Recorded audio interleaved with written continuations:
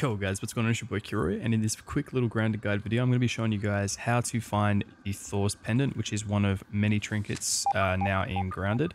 You want to come over to the uh, stump.